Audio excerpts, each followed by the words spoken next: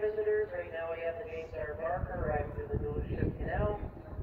The James R. Barker was built in 1976 by the American Shipbuilding Company of Lorain, Ohio.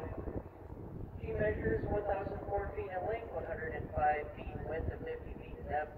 She is powered by two 8,000 horsepower, 16-cylinder 12-wheel stick diesel engines, which give her a top speed of 60 knots or about 18 miles per hour.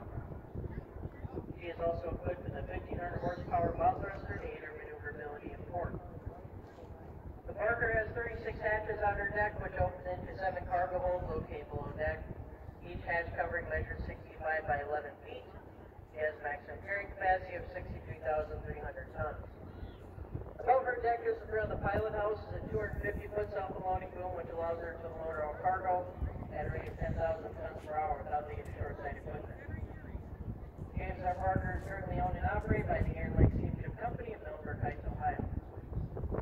The James R. Barker is named in honor of the President and Chairman of the Board of the Interlake Steamship Company. Built for $43 million under the Merchant Marine Act of 1970, the first thousand footer to be entirely built on the Great Lakes and the first thousand footer to have all accommodations located in a rear superstructure.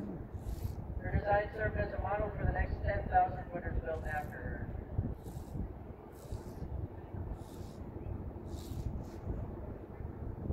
In 2017, she was the first ship to carry Cleveland Cliff Steel Mustang iron ore pellets. The historic Interlake Steamship Company was founded in 1913 by the mastermind empty boat. steel-producing Pickands Mather Company, Empty. which began operating ships in 1883. The fleet was sold into private hands in 1987 and currently operates nine ships and one integrated truck barge unit.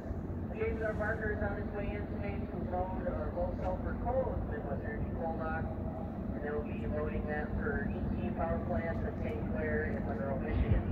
Once again, we have the James R. Barker after the Duluth Ship Canal. She was built in 1976, measures 1,004 Plug feet your in length, ears. 105 feet in width, 50 feet in depth, maximum, maximum carrying capacity of 63,300 tons. Currently owned and operated by Lake Steamship Company of Over Heights, Ohio. Currently on its way in today to Lone Coal and Midwest any crew members on deck, make sure to give them a quick wave and welcome them back to the Duluth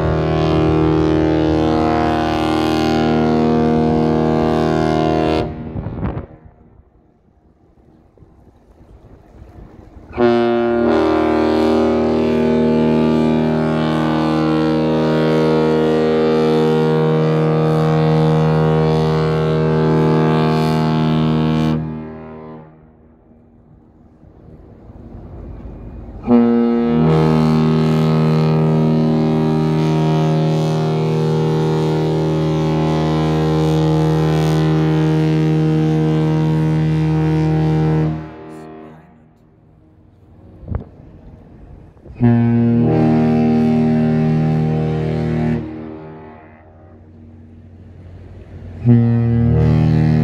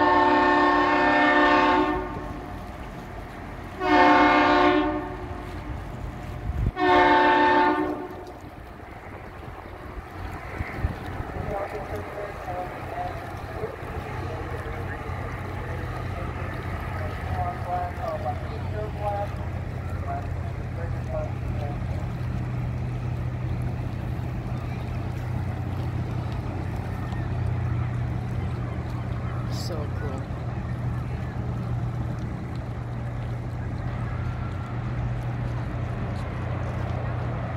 What kind of fuel are they burning? Is that diesel? Yes. Look at the birds.